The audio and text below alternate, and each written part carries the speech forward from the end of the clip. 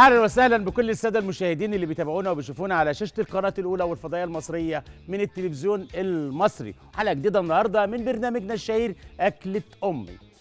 أكلة ام النهارده حابب إن هي تكون مع بداية أسبوع سعادة وهنا يا رب على كل اللي بيشوفونا تكون مختلفة شوية. وفي نفس الوقت من المطبخ المصري بطعم مصري لها تفاصيل كتير قوي. الكفتة بناكلها مشوية يا إما على الفحم يا إما في صينية يا إما على السيخ. حاجات كتيرة قوي وتفاصيل كتيرة في عمل الكفتة وإحنا شطار في عمايلها. ونتنافس في إخراجها من الآخر يعني. النهارده هنعملها كفتة مشوية بالطحينة على طريقة المغازي. نشوف إيه تفاصيلها بطريقة جديدة. والمطبخ واحد في كل دول العالم. سواء لحمة مفرومة ربنا خلقها واحد الرز المنتجات بتاعتنا فراخ سمك دي كلها سواسية. ولكن الأيادي الحلوة والنفس والطعم ده خبرة طهوية شطارتك في المطبخ الحاجة بتطلع حلوة. معانا طبق رز النهارده بالبسله والبازيلا قيمة غذائية عالية جدا للسيدات الحوامل والأمهات. ربنا يدوم الصحة يا رب ويقوموا بالسلامة. غنية بالبوتاسيوم ومفيدة جدا وفيها سكريات وفيها ألياف ومفيدة جدا. فخلونا نستغلها في طبق رز مع البازيلا لأن هي دايما محصورة ما بين يخنة البازيلا بالجزر أو مع خضار سوتيه. الحلو بتاع النهارده بصراحة يعني لطيف وجميل. بيفكرنا بأيام الحلوة بتاعت الشهر الكريم شهر رمضان. كل عام وحضراتكم بخير. يعني هلت الأيام الحلوة. بنعملها دايما سمبوسة محشية باللحمة بالدجاج بالسمك بالجمبري. النهارده السمبوسة بالموز والشوكولاته حاجة حلوة من الآخر حاجة جديدة. هنعملها إزاي؟ وما تفكش مني في الزيت إزاي؟ والشوكولاتة أحافظ عليها جوه عجينة السمبوسة. وتبقى محشية إزاي؟ تفاصيل كتيرة. عندي معلومة غير معلومة بنجاوب على أسئلة حضراتكم بعد ما بنخلص الحلقة في تفاصيل بنقولها من خلال السوشيال ميديا عشان اللي ما شافش الحلقة على شاشة القناة الأولى والفضائية المصرية. هستاذن حضراتكم في مشوار صغير. هنطلع فاصل وبعد الفاصل اوعى تروحوا بعيد.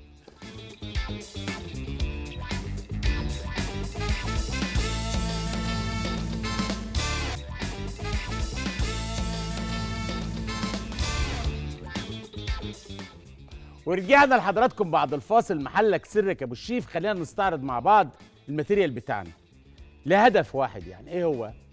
آه بنعمل آه أكلات بنعمل آه سفرة بنعمل غدا بنعمل عشاء. أنا عايزك تفتحي التلاجة تشوفي إيه الحاجات اللي عندك قبل ما تاخدي بعضك وتدوري عربيتك أو تنزلي تشتري الحاجة على رجلك في العربية ايا كان يعني علشان مش توفري عشان ما يبقاش فيه تبذير.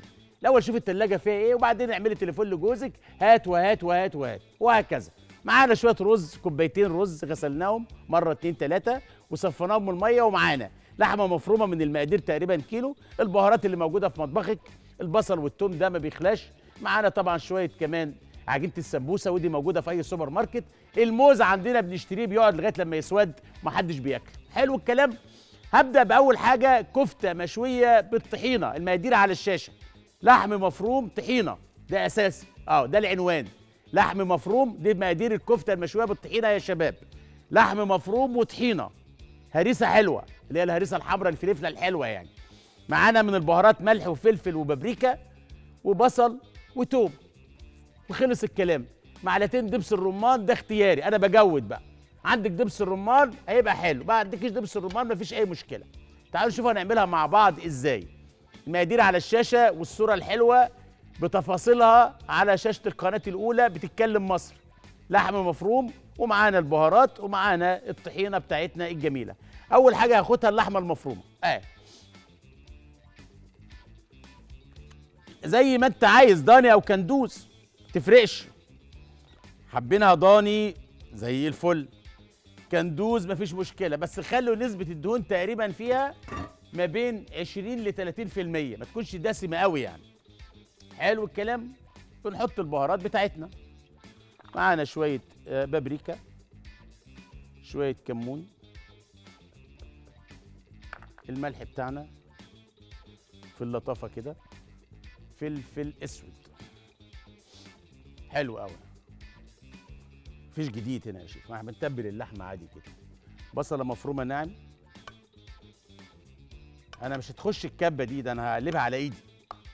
معانا توم مفروم ناعم بلاء التوم المودر والبصل البودر خليكي في الحاجة الطازة. شوية بقدونس مفرومين حلو. غسلنا البقدونس زي ما هو سليم وفرمناه. تسلم إيدك يا عم الشيف. معلقة هريسة حمرا حلوة. إيه الحلاوة دي يا شيف؟ إيه الجمال ده؟ من الطحينه معلقة. خلي بالكم اهي معلقة طحينة كده في قلب الخلطة. اهي ونحتفظ بالباقي عشان لنا كلام معاه تاني بعدين. حلو قوي. معانا من الدقيق. بناخد معلقتين. اللهم صل على النبي. ادي واحدة. معلقة هرمية يعني. وادي التانية. ونخليه على جنب كده لينا كلام معاه. حلو الكلام؟ تعالوا مع بعض كل ده بنعجنه بإيدينا. تاني عملت إيه شيف؟ وحطيت اللي ما خدش باله من الأول. إحنا ميعاد البرنامج بتاعنا الساعة واحدة كل يوم على شاشة القناة الأولى. إعادة خميس وجمعة. حطيت بصل ناعمة توم ناعم معلقتين دي حطيتهم في الآخر. حطيت هريسه حلوة. اللهم صل على النبي. حطيت معلقة طحينة في قلب اللحمة. تركات المغازي. الخبره الطهويه أنا بتتكلم مصري. كل ده مع بعضه وبهاراتنا ملح وفلفل. عايزه تحط حبهان في المطبخ العربي الجميل ماشي. اللي هو الهيل زي ما أنت عايز. أصبحت العجينة عندي قوامها بالشكل ده كده. فيها طعم البقدونس بالشكل ده كده أهو وأقلبها كويس. أخدم عليها يعني. حلو الكلام؟ زي الفل يا عم الشيف. زي ما هي كده. بخليها كده. وأجيب كسرولة أو طبق يعني. ونحط فيه معلقتين دي اللهم صل على النبي. معلقتين دي واحد اتنين بيكفوا وأحط على معلقتين الدقيق دول يا شيف شوية بهارات من البابريكا من الكركم. بالشكل ده كده يعني أطعم الدقيق يعني لأن الدقيق ده هيبقى تغليفة. توبنج يعني للحمه المفرومة وللكفته شوية زعتر حلوين كده. وفلفل أسود في طريق حلو قوي نقلب الدقيق بالشكل ده كده. ونمسك الكفتة معانا بالشكل ده كده. ونحطها في الدقيق ده كده. آه تاني. آه. أنا بعمل كفتة مشوية بصلصة الطحينة. بالشكل ده كده. آه. ودايما كوني حريصة في إن تكون المقادير أو ال وأنت بتقرصي الكفتة قد بعضها. أدي الكفتة بتاعتي جاهزة زي الفل. زي ما هي كده يا عم الشيف. وعندي طاسة شديدة الحرارة على النار. بالشكل اشيل دي من هنا عشان مخرجنا الجميل مش عايزها. حلو. وأحط في الطاسة دي شوية زيت زيتون.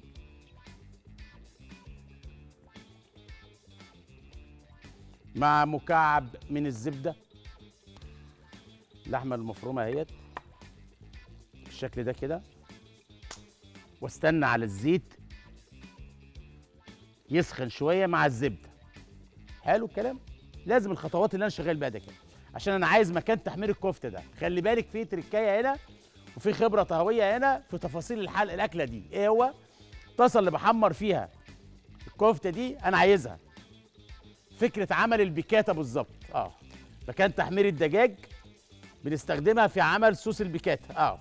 وامسك الكفتة بالشكل ده كده التغليفة دي كده آه باخدها بايديا كده آه وأرصها هنا كده آه وأنا شغال آه. تاني آه. حلوة آه. بعفرها يعني آه. حلو الكلام؟ آه. زي ما هي كده آه. بعيد عن الزيت وبعيد عن الزبد آه. رصة حلوة كده؟ آه. حلوة أوي، آه. تاني. إيه مكونات الكفتة اللي بين إيديك دي يا عم الشيف؟ لحم مفروم ضاني أو كندوز حسب الرغبة. جملي زي ما تحبي طريقة عمل الكيكة علشان تيتا. كوبين من الدقيق. حلو. أربع بيضات. طلعوهم من التلاجة مسبقا. شفت أنا بقلب الكفتة كده؟ آه. نقلب ال baking powder مع الدقيق ونخليه على جنب. حلو. ناخد البيض نخفقه مع كوباية من السكر. وواحد كوب من الحليب. ونص كوب من الزيت. نخفق البيض جيدا بسكر وزيت. ونحط شوية فانيليا علشان الزفارة يا تيتا. وبعد كده ناخد المواد السائلة اللي هي البيض والسكر والزيت والحليب. نقلب عليهم الدقيق المخلوط بال baking powder. الله على شكل الكنافة. يكون عندنا درجة حرارة الفرن 180 جاهز. بنحط مقادير الكيكة في قلب الفرن وندخلها لمدة 30 دقيقة أو 40 دقيقة حسب حجم الصينية أو القالب بتاع الكيك. بنسيب الكفتة تتحمر بالشكل ده كده. مفيش مشكلة لما نغطيها. آه أنا حابب اغطيها آه. حلو قوي وتعالوا نشوف مع بعض هنعمل صلصة الطحينة إزاي بتاعة الكفتة. معانا طحينة. معانا هريسة حلوة. معانا بصلاية ناعمة. هعمل صلصة الطحينة تاكلي صوابعك وراها. حلو الكلام؟ تعالوا نشوفوا نعملها مع بعض إزاي. مكان تحمير الكفتة. خلصنا الكفته وخدت الصدمه الناريه زي الفل. باخدها واحطها في الكسرولة دي يا عم الشيف. إيه الاخبار؟ تمام زي ما هي كده اهي. اشيلها بالراحه خالص خلي بالك. آه. بسم الله الرحمن الرحيم. إيه الاخبار؟ ده اللي أنا عايزه. احطها هنا بالشكل ده كده آه وارصها في طبق التقديم. أنا هقدمها في الكسرولة دي كده. آه. كفتة مشوية بالطحينة. هتعجب ولادك. وهتعجب جوزك. مش كل يوم كفتة مشوية على الفحم. مش كل يوم كفتة مشوية في الصينية. آه. مكان تحمير الكفتة. بنزل بثلاث حاجات دلوقتي وأنا شغال. واحدة واحدة أهو. شكلها بيجنن. طعمها جنان. اهو فكت يا عم شفيق؟ لا. وعلى عينك يا تاجر. مكان تحميرها. بنزل ببصلاية. ناعمه آه ركزي بقى في التركاية دي. دي مهمة جدا على فكرة. آه واستنى على البصلاية دي تاخد لون. آه وأنا شغال. آه اقلب حلو قوي شغال آه وأنا بقلب يا عم الشيف. فاكرين الدقيق اللي أنا كنت بستخدمه من شوية؟ باخد كده بالمعلقة بتاعتي شوية. هو ده. هي دي التركاية. اهي اهي اهي اهي واقلب آه. والم البصلاية بتاعتي كده والفها بمعلقة الدقيق. آه. وانزل بالهريسة الحلوة. اللهم صل على النبي. آه. واقلب بهاراتك مظبوطة زي الفل. انت حاطه قبل كده. ومعايا مية بتغلي على النار. ممكن يكون بوكيه جارنيه مية بتغلي. اللهم صل على النبي أهو. يلا. كمان؟ كمان. آه. لو ورانا حاجة؟ آه. زي الفل. آه. عايز أحط صلصة الطحينة على الكفتة. تبان وأقلب دول كده مع بعض. زي الفل. آه. لسه ما خلصتش. اصبر على رزقك. تاكل حاجة حلوة. وانزل بالطحينة يا عم الشيف. اهي. الله واقلب مش بالمضرب خليكي كده زي ما انت بتقلبي. معانا دبس الرمان. بننزل بمعلقة. وده اختياري. حسب الرغبة. آه. الله الله على قوام الصلصة دي. قوام الصلصة ده إيه السر؟ من معلقة الدقيق اللي أنا دورتها مع البصلة على النار. والطحينة الطبيعي لما هي بتنزل على نار مغلية بتديني قوام. طبخة الطحينة لما بتنزل على نار مغلية بتديني قوام ده الطبيعي. الطحينة لما بتتعرض لدرجة حرارة أو لمية مغلية أو لسخونة بتتخن آه. الله آه. عصرة ليمون. اللهم صل على النبي. عينيا. آه. شفت بقى الخطوات؟ آه. التقليبة دي مهمة جدا. آه. آه. بقدونس مفروم. الأكلة دي لما تعمليها زي ما بعملها كده هتدعي لي بجد. آه. التقليبة دي مهمة جدا. آه. زي ما هي كده. شوية مية مغليين. محتاجة. وأقلب. آه. هاخد الخليط ده يا عم الشيف وهو بيغلي كده على النار. أعرفه على الكفتة. آه. يلا. الملح مظبوط عايزة ظابطه آه. لأن زودت مية ده الطبيعي. آه. آخد الخليط ده كله زي ما هو كده. اللهم صل على النبي. وانزل بيه على الكفتة بتاعتي. يلا كده جيب لي اللحظات الحلوة اللحظات الجميلة. قلب الصغير لا يتحمل. آه. آه. درجة حرارة الفرن عندي 180 يا عم الشيف. آه. ارسم لوحة فنية من لحمة مفرومة ضاني كندوز حسب الرغبة. خبرة طهويه مع طحينة هريسة حلوة زبدة زيت زيتون. آه معلقه دقيق هي السر في القصة. آه باخد الكفتة دي يا عم الشيف في درجة حرارة فرن 180 وادخلها الفرن.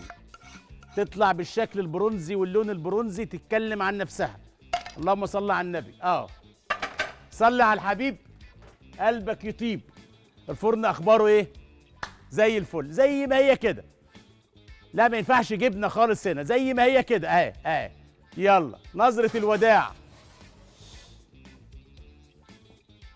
اللوكيشن خلينا ناخد بعضينا ونطلع من عند الفرن. فيصل فاصل صغير أطلع بعيد تابعوني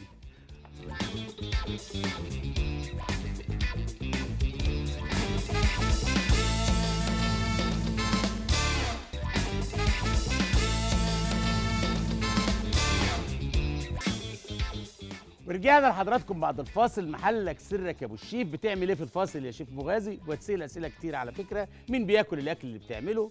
مين بيمسح لك خدمتك؟ مين بيروق لك المطبخ؟ تفاصيل. بيهتموا بيها حضراتكم. وخاصة دي مهمة جدا على فكرة. إنك تروقي مطبخك في فاصل أو إنك أنت واقف في المطبخ تتفاجئ بوجود حماتك أو ضيوفك أو جارتك ده مهم جدا يكون مطبخك رايق وحالتك نظيفة وزي الفل. أنا هعمل دلوقتي شوية رز كده جامدين قوي رز بالبسله والجزر. سوري بالبسله بس مفيش جزر يعني. المقادير رز مصري غني بالكربوهيدرات والنشويات معانا بسله يعني بوتاسيوم يعني معادن يعني مغنيسيوم يعني ألياف يعني سكريات لطيفة وبسيطة بصلة وتومة. والبهارات بتاعتنا ملح وفلفل وشوية كمون. أنا بحب الكمون مع البسلة. رقم واحد بتدي طعم حلو رقم اتنين بتعمل مشاكل القولون ومشاكل الانتفاخ نتيجة البسلة أو الكرنب. أو البقوليات إحنا عارفين كلنا. بحط معلقة زيت زيتون. حاضر يا غالي. عايز تشوف الكفتة في الفرن؟ ده هي في انسجام دلوقتي مع الطحينة. الطحينة مع دبس الرمان مع التوابل يتنافسون على الطعم الحلو. ننزل بالبصلاية الحلوة. آه زي الفل. زي الفل. تمام؟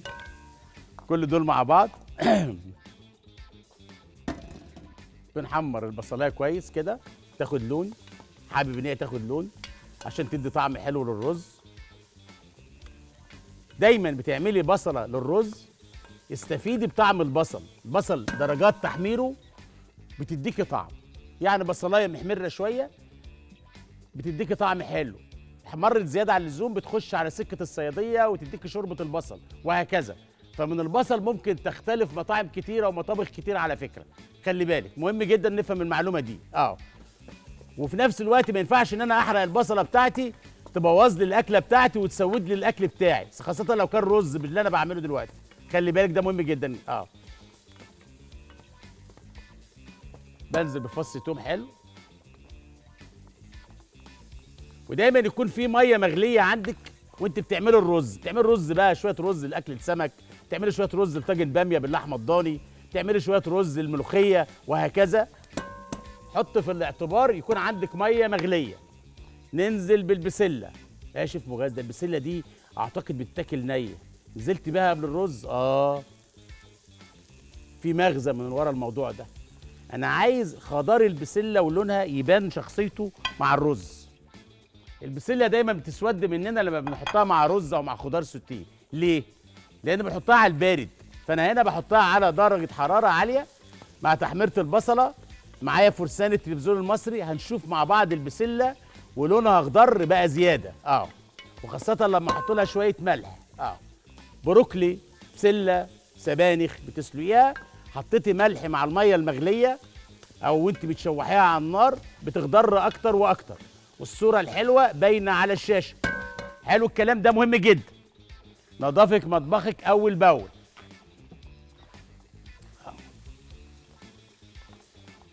تقدري تعملي الرز ببسلة ولحمة مفرومة حسب الرغبة. آه. عندك لحمة مفرومة في التلاجة طلعيها ما تبخليش بيها. وتحطيها مع البسلة وتعملي أحلى شوية رز بالبسلة واللحمة المفرومة. ويا سلام لو عندك شوية لوز. يا مزاج اللوز. آدي الرز المصري بتاعنا. آه. إيه الحلاوة دي؟ إيه الجمال ده؟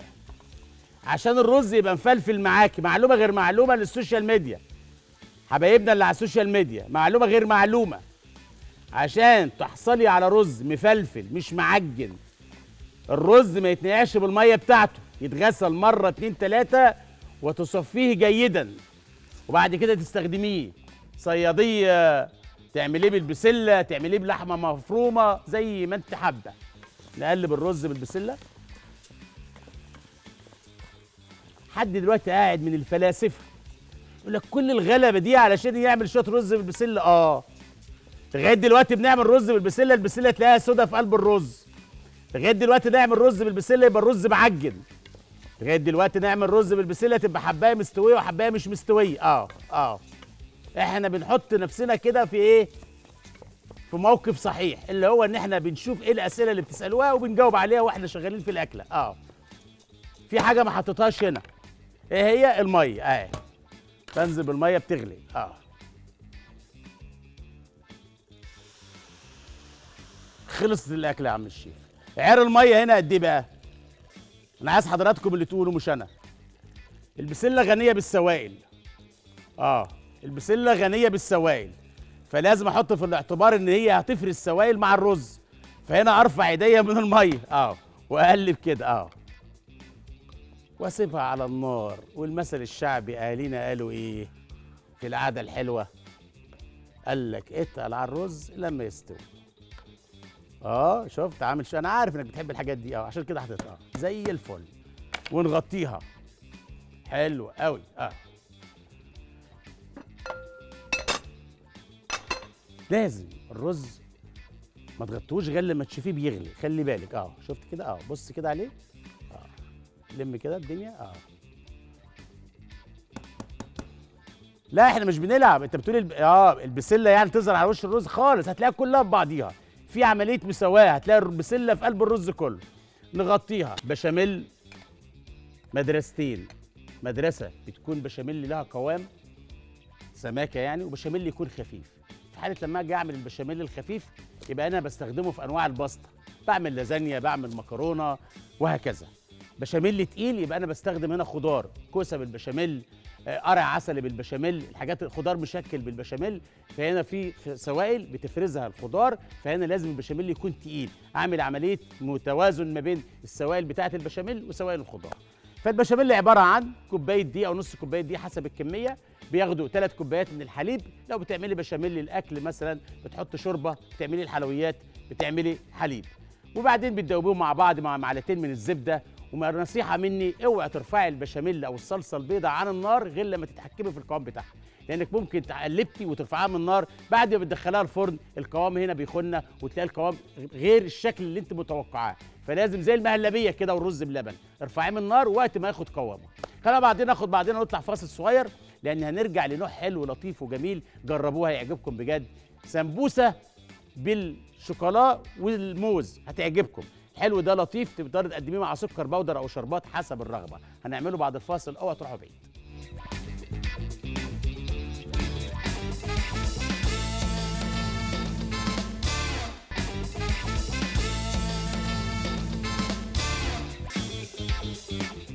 ورجعنا لحضراتكم بعد الفاصل. محلك سرك يا أبو الشيف. المخرج عايز يشوف الكفتة دي مصيرها فين دلوقتي؟ خدت وقت كبير قوي. ما نبص عليها كده مع بعض. إيه الحلاوة دي يا شيف يلا أنا هطلعها من الفرن دلوقتي لأن هضيف لها حاجات وبعدين ندخلها تاني. آه في شكل ج... إيه الحلاوة دي؟ إيه الجمال ده؟ آه الطحينة هنا عايشة الانسجام مع لحمة ضاني. آه زي ما هي كده أهي. لسه ما خلصتهاش خلي بالك. أي زي ما هي أهي. تعمل إيه يا عم الشيف؟ برزنتيشن بقى شكل كده حلو. أهو. ده الطبيعي. تخش النار تاني دلوقتي. دي طماطم. عندك طماطم شيرة صغيرة. أهلا وسهلا. ما عندكيش هتجيب الطماطم بتاعتنا الصغيرة الحلوة دي كده حلوة بتاعتنا دي يعني. أصل أنا شايف في إقبال على طماطم شيري هي نفس الطعم يا إخوان بس دي صغيرة الأطفال بيحبوها. وفيها مزازة وحموضة شوية. آه. شوف اللي أنا بعمله ده كده حلوة مهم جدا على فكرة. الشكل الجمالي مطلوب. زي ما هي كده. آه. هدخلها الفرن تاني. آه زي ما هي. هدخلها الفرن تاني. في نفس المكان. آه. سخنة. خلي بالك. اهي حاضر. اهي حلو قوي تمام. خلينا ناخد بعضينا دلوقتي ونشوف مقادير الحلو على الشاشة. شفت الريحة الحلوة بتاعت البسلة مع الرز؟ آه. الخضار والجمال بتاع البسلة في قلب الرز مع بياض وجمال حبة الرز والرز مفلفل إزاي مع البسلة. عندك شوية لوز حطيهم عندك شوية فول سوداني حطيهم عندك شوية صنوبر حطيهم زي ما انت حابة. نوطي عليه النار تاني ونقفل الحلة. تعالوا مع بعض ناخد مقادير الحلو اللي هنعمله دلوقتي. سمبوسة بالموز والشوكولاته مقاديرها كالآتي. عجينة سمبوسة. هتلاقيها عندك في التلاجة من شهر رمضان. طلعيها مفيش أي مشكلة. آه. ومعانا موز. الموز مستوي زيادة شوية مفيش مشكلة. هيبقى طعمه حلو. الجلدة بتاعته مسودة شوية مفيش مشكلة. ما تخافيش. أهم حاجة الموز يكون من جوه أبيض ما يكونش مسود. خلي بالك. آه الموز طبعا له شكل. لو بقى مسود ما ينفعش إن إحنا ناكله. خلي بالك. آه. في طرق تانية ممكن أستفيد بيها بالموز لو مستوي جامد. من ضمنها إن أنا ممكن أعمله زلابيا ممكن أعمله في كيكة زي ما أنا عايزه تشتغلي في حلو طبيعي إنك أنت بتجهزي نفسك. هنبدأ نشتغل في الحلو ده كده مع بعض. طبعا إحنا شوية جاهزين معانا. بس إحنا اتعودنا مع الشيف المغازي بنعمل واحدة واثنين وثلاثة واربعة حسب وقتنا. فأنا هعمل دلوقتي الحشوة اللي ممكن نحشيها لعجينه السمبوسة اللي هي حشوة الموز مع الشوكولاته الحلو ده حلو طفولي لطيف وجميل. ممكن البنوتة الحلوة تخش تيتا بتزورها.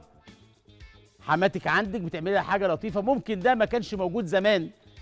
فلما تشوفوا مثلا حماتك أو تيتا إيه ده يا بنت اللي عاملاه؟ تسلم إيديكي. والله يا تيتا اتفرجت على الشيف المغازي بفتح التلفزيون كل يوم بشوفه الساعة واحدة فلقيته عامل السمبوسة دي عملها وحشاها موز وشوكولاتة. فتعالوا نشوفوا مع بعض إزاي إحنا هنعمله مع بعض دلوقتي. لافين دي جامد ليه؟ مش عارف. حلو؟ آه. حلو قوي عندك معلقتين دقيق بيتدوبوهم في مية وتعلمنا الكلام ده من زمان علشان نقفل بيه السمبوسة. باخد العجينة كده وباخد الموز الحلو ده كده الموزة مستوية. عايز اخدها على بقي أهي موز بلدي. سيبك من المستورد ده غالي وطعمه مش حلو. خليك في الموز البلدي ده والبلدي يوكل. أهو. قشر الموز ده ما ترموش على درج السلم. ها قول آه آه زي الفل. عشان والجيران طالعين ما يعملش مشاكل وأولاد الجيران. آه تخيل بقى طالع على السلم ويقشر الموز ده حطيه في كيس كده واقفليه أنا حطيت الليمون على الموز علشان ما يسودش.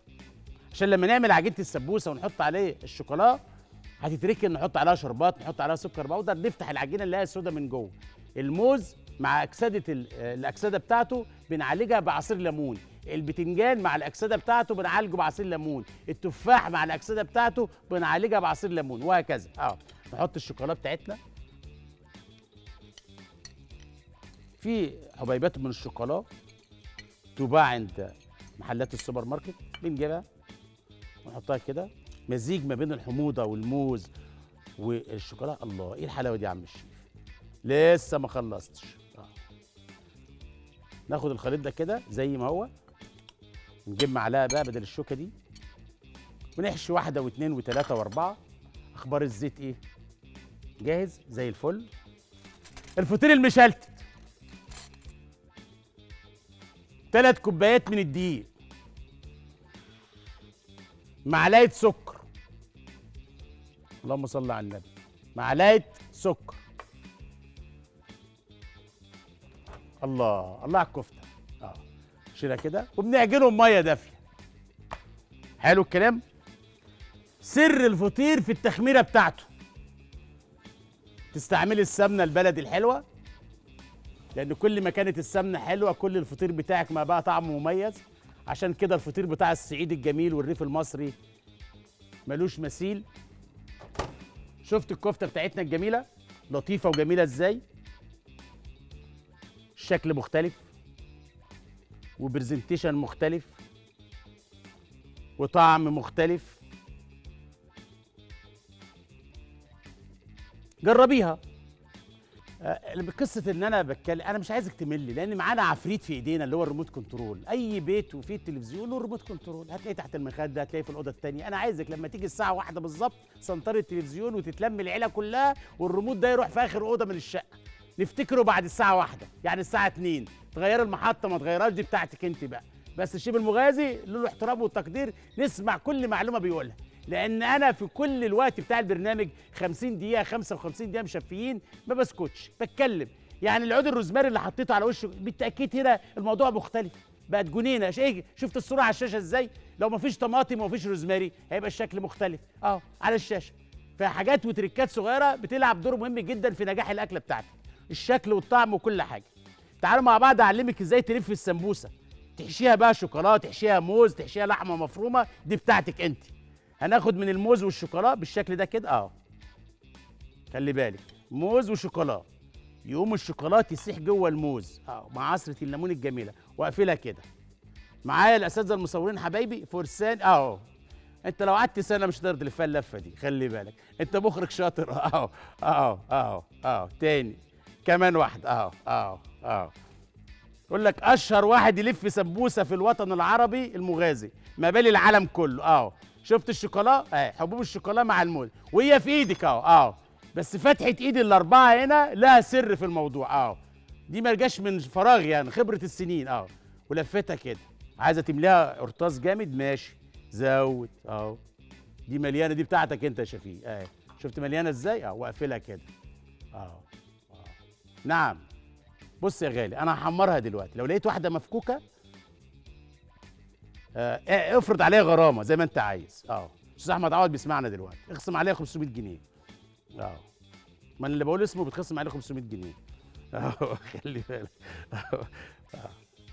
نحط الشوكولاته نحط الموز. آه. وأنا شغال. آه. والف. آه.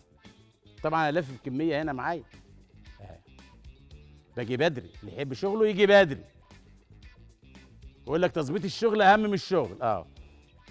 حاضر هغرف الرز دلوقتي. هو ده الكلام ده. آه. آه. شفت الشوكولاته مع الموز. آه. حاجة سهلة بثلاثه تعريفة. الموز ده كان مصيره فين؟ بعد ما يسود مش عارف. خلي بالك. آه والله. مش لا لا. آه. الأبيض ده عبارة عن معلقتين دقيق بدوبهم في شوية مية. آه. معلقتين دقيق بشوية مية. أنا ضد البيض في عملية اللف السمبوسة أو ان إحنا نقفل بيه الفطاير بيبقى فيه زفارة بعدين.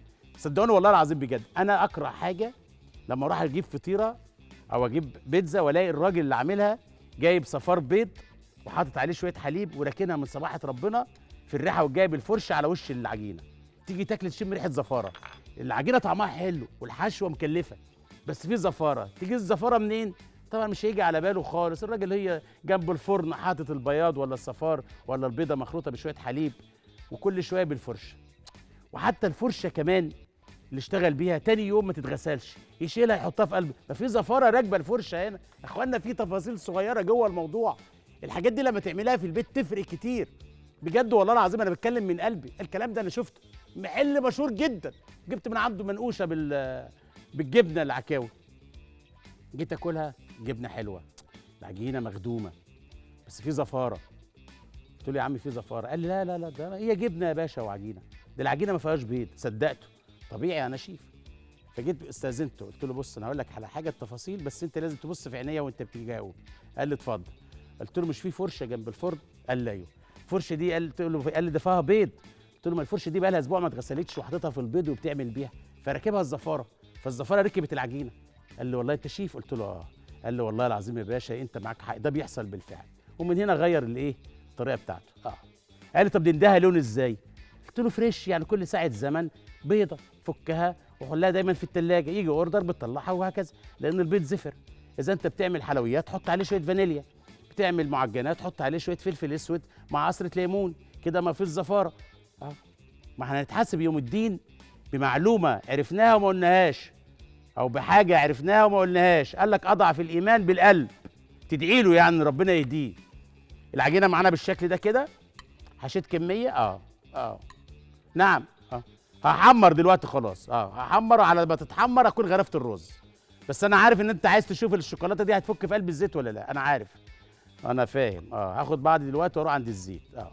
هاخد العجينة اللي أنا لفيتها دي كده والعجينة اللي معانا دي كده اهو استعدوا. يلا رايح عند الزيت. اهو هاخد العجينه اهو وآخد الدقيقة اخليه هنا. وآخد بعد كده تعالوا. اهو بسم الله الرحمن الرحيم. لا الزيت لازم يكون شديد الحرارة. ننزل كده. اللهم صل على النبي. آه. الله. آه. آه. آه. آه. العجينة أهم حاجة تنزل في زيت شديد الحرارة. ينسى آه. نعم حاضر. والله هحط اللي أنا عاملها اصبر عليا أنت مش سايبني في حالي ليه بس؟ يا عم أنت عايز تشتغل مكاني؟ أنت مخرج شاطر وأنا طباخ شاطر. آه اللي أنا عاملها مختلفة أهي. الشكل مختلف واللون مختلف. آه في قلب الزيت واحطها كمان بقى. بص برميها في قلب الزيت أهو. واثق الخطوات يمشي ملكا زي ما قالت الست أم كلثوم. آه كلها. طبعا هي لو فكت هنشوف الزيت دلوقتي كله شوكولاتة. آه وهسيبها مش هاجي جنبها. مش قاعد كل شوية اقلب فيها وفرحان بيها. سيبها خالص دلوقتي خلي بالك. دي من أسرار تحمير السمبوسة. لما نحطها في الزيت بلح الشام سمبوسة لقمة القاضي زلابيا طعمية بتحطيهم في الزيت. الحاجات اللي فيها سوائل دي سيبيها شوية تشد في الزيت وبعدين قلبيها. تعالوا نغرف الرز مع بعض سريعا. رز بالبسلة. عندك شوية لوز حطي لوز. عندك صنوبر حط صنوبر. خليك أحسن مني وأكرم مني. آه. اللهم صل على النبي. لا أنا عايزك تشوف الرز بقى. بص على الرز وشوف جماله. جماله يا جماله. اللهم صل على النبي. لا يا عم يعجل مين؟ إحنا بنهزر. ده أنا هنزلك حبات الرز دلوقتي تجري ورا التانية. اللهم صل على النبي. آه. شفت شوية الرز؟ الله. أنا عايز انت عايز الأرض الفلفل ده اخليه على جنب؟ حاضر. ده خليه على جنب برزنتيشن يعني. آه. بص شوف الرز نازل مع البسله آه. شوية رز بالبسلة. دول كانوا عايزين لحمة مفرومة. أنا مش بحبه باللحمة المفرومة. بحبه كده وأحبه معاه إيه؟ شوية مكسرات. آه. شايف الرز؟ آه. آه، بص. آه. آه. آه. والحباية البسلة وريحة البسلة في قلب الرز بتتكلم مصر آه، اللي مفصصة بسلة وشايلاها في الفريزر. طلعيها واعمليها مع الرز. آه. عندك جزر قطعي معاه جزر مفيش مشكلة. يتبشر لا الجزر يتقطع مكعبات. آه. الله. آه. ناخد دي كده زي ما هي اللهم صل على النبي. ونحط الجرنش بتاعنا. اللهم صل على النبي. إيه الأخبار؟ إيه الحلاوة دي؟ بص على الحلاوة. زي ما قال متقال رحمة الله عليه الفنان الشعب الكبير. بص يا الحلاوة حلاوة. أهي. كلها واحدة اهي. كده تمام؟ ارفع يا سمسم. نحط الفلفل ده كده. ونغرف السمبوسة مع بعض. اللهم صل على النبي. عينيا هغرف السمبوسة واجري. اهو اهو حاضر اهو. سمبوسة بالشوكولا والسكر والعسل زي ما انت عايزة. اهو. ما هي لو فكت يا غالي هعلمك حاجة بقى. هتلاقي العجينة دي اختلطت بالشوكولا خلي بالك آه. لازم الزيت يكون شديد. آه. سامع الصوت ده؟ الصوت اللي بيتعب القلب ده؟ آه.